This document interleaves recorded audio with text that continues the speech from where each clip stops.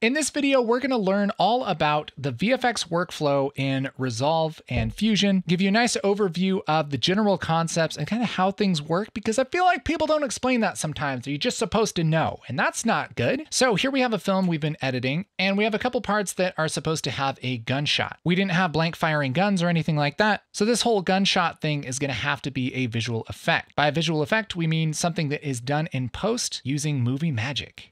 So how do we do that in Resolve? Traditionally, how this would be done is you'd put your edit together in your editing app of choice and you get your story all worked out. And then these visual effects shots would be rendered out and brought into a compositing program like After Effects or Nuke, whatever you have available. And this clip would be composited. We would add the muzzle flash and any kind of lighting, any kind of fancy things that we want to add digitally. And then we'd render this out as a new video and bring this back into our edit and replace this clip with that edit. That's kind of generally how it's done. In Resolve, we do sort of the same thing, but with a little less trouble. We still have our edit pretty much done here, and we have a couple of markers and notes added to our sequence, and we have this clip kind of isolated here on the timeline. But Instead of rendering this out and bringing it into something like After Effects, in Resolve, we can just switch over to the Fusion page and do our movie magic there without any kind of rendering. So I'm just gonna have my playhead over the clip that I want to adjust and click into Fusion. That will bring up the clip here in Fusion. Here we have it. And if I bring up my keyframes palette,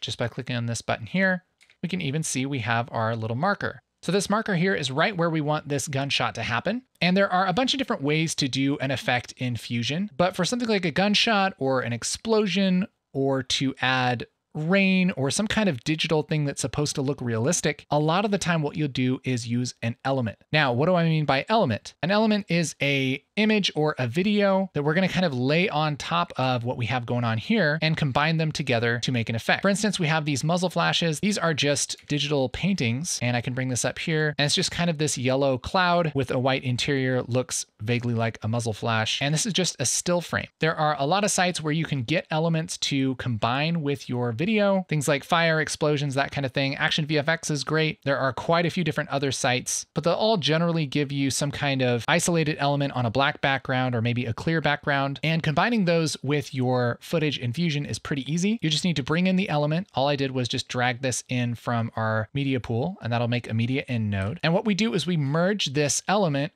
over our original footage. I can do this by creating a merge node. I'll just select my media in, which is our original footage, and click on this merge. And I can take the output of our media in three, which is our muzzle flash, and pipe that into the foreground of our merge. And now we have our flash over our original footage. If this doesn't make sense to you, I have a lot of videos on how Fusion works, how the nodes work. This is kind of just supposed to be a general overview, but the idea is we have our element over our original footage, and that gets merged over it. Now, we don't want this black background here. And so oftentimes what we'll do is in this merge node, we can go to the inspector where we can adjust all the properties of how something gets merged over something else. And we can switch this apply mode to something like screen, and that will get rid of the black pixels and it'll keep the bright pixels. And now we're getting somewhere. I can take this element and position it exactly where it needs to be, put this right here at the end of the gun, and now we have a basic muzzle flash. This works basically the same way if you have a video element or a still like we're using here. You'll just need to line it up in time, which you can do in the keyframes like this. I open up the keyframes. I can move my element back and forth and decide kind of when that happens in time. So for this still image, I could trim this and make this show up for just one frame, which would totally work. There's also ways to turn this off and on in the merge.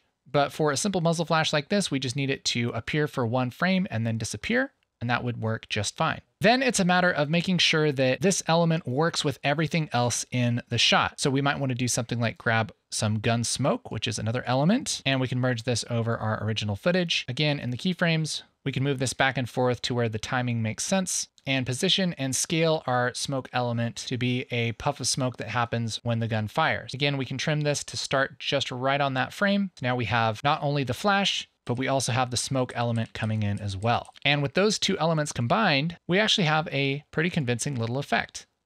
Pretty neat. Something else that might happen for something like a muzzle flash would be to grab the slide of the gun and move that back in post so that we have kind of that blowback action. We can do this by essentially duplicating our original footage and merging it over itself and adding a mask. A mask controls the transparency of any node or effect, and I can kind of make a little cutout of our slide for our gun here. Make sure to invert my mask And now I can move this slide independently of the rest of the footage. So I could do something like push this slide back a little bit like this, and maybe we'll add a little blur, like a directional blur, just to give it a little bit of movement and soften the edge there. And now we have a little bit of movement on that slide. And any of these effects and nodes, we can animate using these little diamonds right here. All I have to do is click whatever control I want to animate, which I'll animate the blend, which is just the opacity of this merge right here. I'll go one frame forward and turn it all the way off. And it's totally on right there. And then the frame after that, we'll turn it totally off again. So now we have this perceived movement for this gun where it kind of blows that slide back. And that really helps to sell this effect. Now we have this pretty cool looking gun movement from a fake gun. Combine that with something like a solid color, which we can apply with a certain transparency mode, maybe something like soft light, and we can add some interactive lighting to our shot turn this to hard light take this down a little bit. You can add just a little bit of that light to really sell this effect. Again, I can animate this on the blend for just that frame. And now we have some lighting effects that we can dial in to taste. You build out your elements with the nodes inside of Fusion, and when you have the shot looking exactly the way you want, you can switch back over to the edit page at any time, and it's already in your edit. So that's a basic overview of the visual effects workflow inside of Fusion and Resolve. If you want to get a little bit deeper in this, we have a beginner's course, which is available right here. We get super detailed in making effects for your videos inside of Fusion and Resolve, which is a free program, by the way. So if you're interested, check out that course. We also have an advanced course available once you start to learn your stuff. There's also links to that down in the description. So yeah, I guess that's all I had to say make sure that your muzzle flashes are flashy